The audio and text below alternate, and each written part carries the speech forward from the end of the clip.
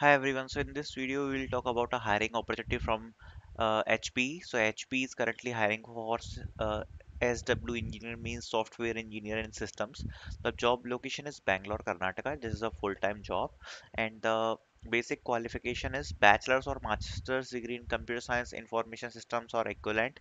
Typically, zero to two years of experience is required. Okay, so this is a entry level job, and HP basically very good company so if you want to apply then you can definitely check out this job as well because uh, it's a really great company to work with knowledge and skills required is experience or understanding of software system good analytical problem solving skill understanding of design software systems okay so this is the basic requirement.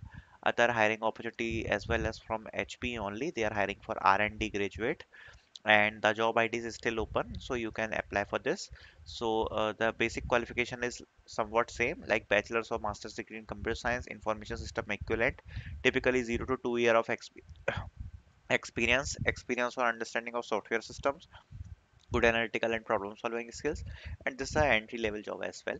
So you can apply both like this and this you can both apply you have to apply click on this apply now button then it will redirect to you to uh, Yes, HP carrier portal. Okay, so here you can fill out this form and you can apply. In this, you it will redirect you to a my workday page. Okay, I'll putting both the links in the description so you can apply and make sure you subscribe the channel for more hiring opportunities like this. Thank you.